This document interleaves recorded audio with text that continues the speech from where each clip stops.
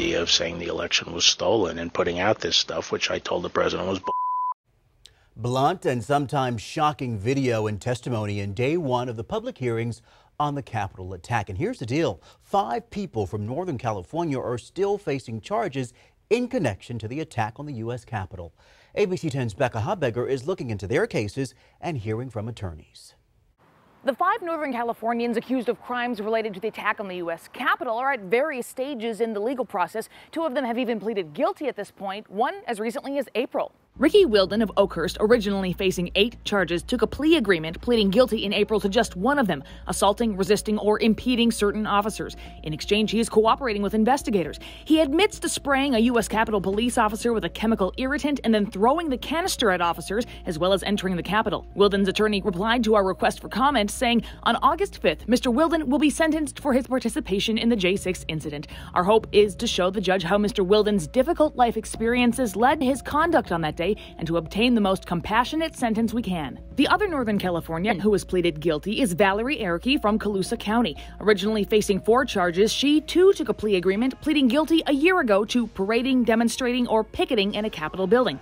She admits to entering the Capitol building for a short time. Court documents show this Facebook post of her saying, We made it inside right before they shoved us all out. I took off when I felt pepper spray in my throat, lol. Sean McHugh from Auburn faces eight charges and is considering a plea agreement. In the meantime, he has a date set for a jury trial in October. Prosecutors say he pushed a large metal sign into law enforcement officers and sprayed a chemical irritant at them. These are screen grabs included in court documents. Tommy Allan from Rocklin faces six charges and is also considering a plea agreement with a plea hearing set for August. Prosecutors say he entered the Capitol and is shown here in the Senate chamber where they say he stole documents from a desk. Jorge Riley of Sacramento faces six charges and has a jury trial set for next April. He posted many photos to his Facebook page that day, including selfies shown in these court documents, along with a post saying, Hey, we're storming the Capitol. What are you doing? Prosecutors say he entered the Capitol and that in a video, Riley admits to going into House Speaker Nancy Pelosi's office. I think Americans need to counter that by knowing what really happened and knowing how dangerous that really is.